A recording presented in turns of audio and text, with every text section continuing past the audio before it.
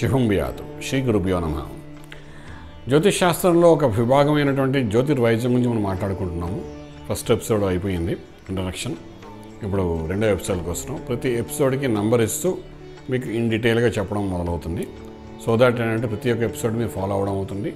మీకున్న సమస్యల పరిష్కార మార్గం కూడా జ్యోతిష్ శాస్త్రం ద్వారా ఎలా నివృత్తి చేయాలని కూడా మీకు చెప్పుకుంటూ వెళ్తుంటాం అన్నమాట అయితే మన శరీరంలో ఉన్న ప్రతి భాగానికి జ్యోతిశాస్త్రానికి అనుసంధానం చేసి మన శాస్త్రం చెప్తుందన్నమాట. జ్యోతిశాస్త్రంలో ఉన్న పన్నెండు రాసులు పన్నెండు లగ్నాలు ఇరవై ఏడు నక్షత్రాలు నూట ఎనిమిది పాదాలు ఇవన్నీ మన శరీరంలో ఉన్నాయని చెప్తుంటామట అందులో భాగంగా ఏంటంటే మేషము అనేసరికి ఈ భాగం అంటారు. ఈ తల భాగం ఉంది సరే ఇది మేషం కింద చెప్తామండి. ముఖము ఇది ఏదైతే ఉందో ఇది వృషభం కింద చూపిస్తాము. అదే మిథునం అంటే భుజాల కింద చూపిస్తాము. భుజం అంటే మిథునము అంటే ఈ భుజాలంటే ఈ మెడ మెడ కింద భాగం ఈ భాగం మిథున భాగం అని చెప్తాం శరీరంలో. అలాగే మనకు వచ్చినప్పుడు కర్కాటకం అంటే హృదయ భాగం చెప్తాం. అదేవిధంగా మన కన్యా అనేసరికి సింహం అనేసరికి ఉదర భాగం. కర్కాటకం అంటే ఆల్మోస్ట్ ఉదరము పైన గుండెకాయ దగ్గర మనం చూపిస్తామన్నమాట. అలాగే మనం చెప్పుకుంటూ వెళ్తుంటే కన్యా భాగం వచ్చి బొడ్డు పై భాగం వస్తుంది. అలాగే మనకు నడుము భాగం అంటారు. అదేవిధంగా మంచి చిన్న ప్రేవులు ఉండే ప్రదేశం ఇతన్ని కూడా మనము కన్యా భాగం అని చెప్తాం. అలాగే తులా అనేసరికి పొట్టు కడుపు. పొత్తి కడుపు తర్వాత దాని కింద భాగంలో చూసుకుని లోవర్ అబ్డామన్ అంటాము ఇదంతా మనకు తులా భాగంగా చూపిస్తుంటాం. వృశ్చిక భాగం అంటే బాహ్య అంటే private part of our body ఏదైతే ఉందో దాన్ని మనం వృశ్చిక భాగం అని చెప్తుంటాం అన్నమాట ధనస్ అంటే తొడల కింద చూపిస్తాం. అదేవిధంగా మనకు మకరం అంటే మోకాళ్ళు అంటాం. దాని తర్వాత కుంభం అంటే కాళ్ళు కింద భాగం పిక్కలు ఇవి ఉంటాయి వాటిని అంటాము మీనం అంటే పాదాలు అంటారు. సో ఇక్కడ మేషం నుండి మీనం వరకు ఈ పన్నెండు భావాలు మన శరీరంలో ఉన్నాయని చెప్తారు. మేషం వృషభం మిథునం కర్కాటకం సింహం కన్య తుల వృశ్చికం ధనస్సు మకరం కుంభం మీనం. అంటే పాదాలకు వస్తే మీనం వస్తుంది. మీనానికి అధిపతి ఎవరండి? గురువు. అంతే కదండి? సో ఇక్కడ మీనం అనేది ఎక్కడికి వచ్చిందంటే పాదాల దగ్గరికి వచ్చిందంటే. ప్రతి ఒక్కరిని గురుతత్వంలో మనం చెప్పేది ఏంటంటే మొట్టమొదటి గురువుగారి పాదాలకు నమస్కారం చేయాలంటారు. పెద్దవాళ్ళు ఎవరైనా వస్తే ఎదురైతే ఖచ్చితంగా పాదాలకి నమస్కారం చేయంటారు. మన నార్త్లో కాదు సౌత్లో కాదు మొత్తం ఇండియాలో ఎక్కడికి వెళ్ళినా సరే పెద్దవాళ్ళు వస్తే ముందు కాళ్ళకి నమస్కారం గురువులు వచ్చిన వాళ్ళకి నమస్కారం.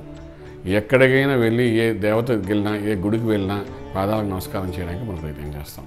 అంటే ఆ పాదం అనే భాగంలో ఏముందండి మీనరాశి. మీనరాశి అధిపతి ఎవరు గురువు? అంటే పాదాలకు నమస్కారం చేస్తే ఎవరు చేస్తున్నట్టండి? గురువుకి అంటే భగవత్ తత్వానికి మనం నమస్కారం చేస్తున్నట్టు లెక్క. మన మనసులో భగవంతుడు స్వరూపమని అవతలవాడు అనుకుని ఆ పాదాలను నమస్కరిస్తే సాక్షాత్ ఆ గురువుకి నమస్కరించినట్టే. ఏ గురువు? ఆది గురువుని. ఎవరైతే మీకు జ్ఞానాన్ని విజ్ఞానాన్ని ఆలోచన శక్తిని ఇచ్చారో అటువంటి గురువుని మనం నమస్కారం చేసినట్టుగా దాని యొక్క అంతరార్థం అన్నమాట.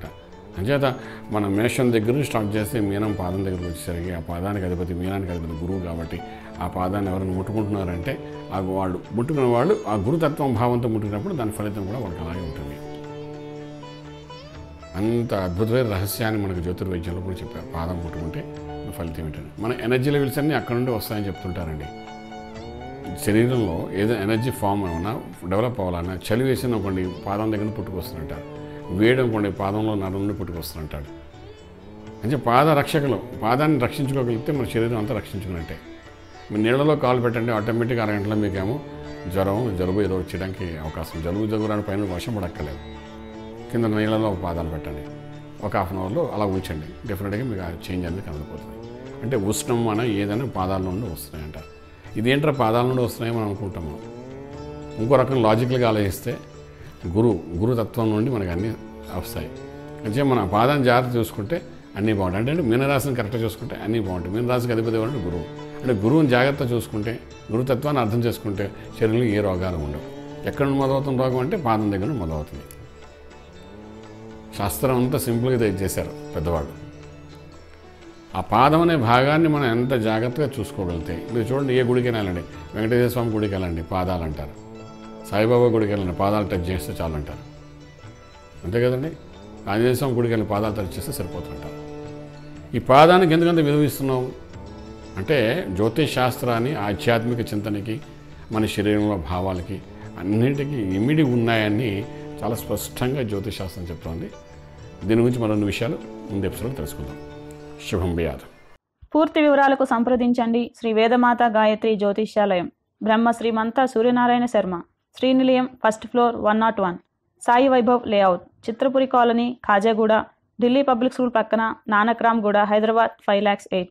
Phone numbers triple eight triple five nine one four seven. Triple eight triple five nine one four eight. Nine seven zero triple four seven double zero one. Nine seven zero triple four seven double zero two.